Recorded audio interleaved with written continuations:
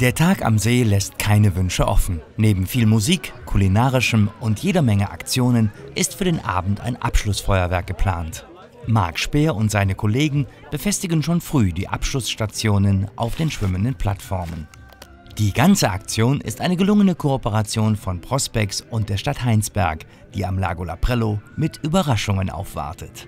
Prospex als Werkstatt für Menschen mit seelischen Behinderungen hat jetzt im dritten Jahr das Bootshaus am Lago Laprello betrieben. Ein Erfolgsmodell meiner Meinung nach, entstanden aus der Idee, für Familien mit Kindern am Wochenende ein Naherholungsgebiet am Lago Laprello, einen Anziehungspunkt oder einen Anknüpfungspunkt zu haben, Boot zu fahren, Kaffee zu trinken, Kuchen zu essen. Wir sind damals sehr schnell, als die Idee geboren wurde, auf die Stadt Heinsberg zugekommen und haben in, ich glaube, sehr unkomplizierten Gesprächen miteinander unkompliziert, ja.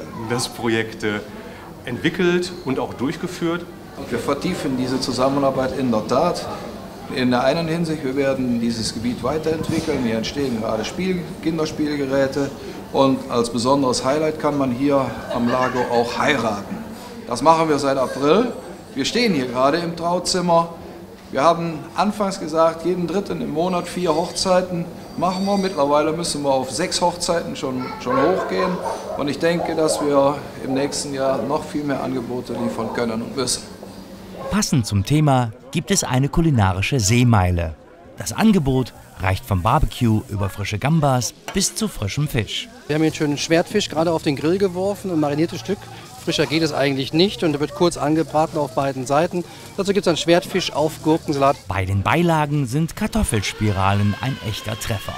Hier ist der Name Programm. Kartoffelspiralen angeboten von der Familie Spirälchen. Ein Tag am See, bei dem viele Rollstuhlfahrer den Weg zum Lago Laprello finden. Ein Novum für die Rollstuhlfahrer ist das neue Rolliboot, das von Prospex gebaut wurde. Tanja van Bree ist ein wenig aufgeregt, genießt die Fahrt aber dann in vollen Zügen. Die Bootsfahrt war ein ganz tolles Gefühl. Meine Familie wird sich riesig darüber freuen, dass wir jetzt einen neuen Ort haben, wo wir jetzt zusammen was Neues unternehmen können, wo die Mama mittendrin dabei ist. Als es Abend wird, ist es Zeit, bei unseren Feuerwerkern nachzuschauen. Wir sind momentan gerade dabei, die einzelnen Batterien anzuschließen an die Zündmaschinen. An den Batterien sind bereits Elektrozünder angebracht, über die das Feuer nachher in die Batterien reingeht. Und weil wir in diesem Fall mit dem See eine ganz besondere äh, Lokalität haben, wo wir nicht im Nachhinein einfach hinrennen können, um die Artikel zu zünden, nehmen wir zwei Maschinen, die wir separat anschließen an jede Batterie, um eine maximale äh, Wahrscheinlichkeit zu erreichen, dass die auch direkt angehen. Während die Gäste sich auf den Abend einstimmen, beginnen die Feuerwehrtaucher des Kreis Heinsberg mit dem Vorprogramm. Dazu Tauchleiter Guido Funk. Also man sieht jetzt, dass äh, ein, Boot äh, Feuerwehrtaucher zieht.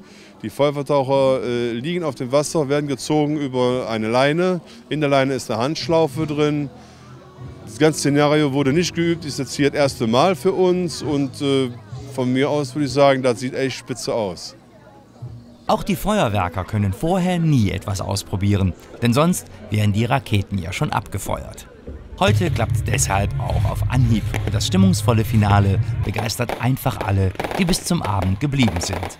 Vielleicht bis zum nächsten Jahr.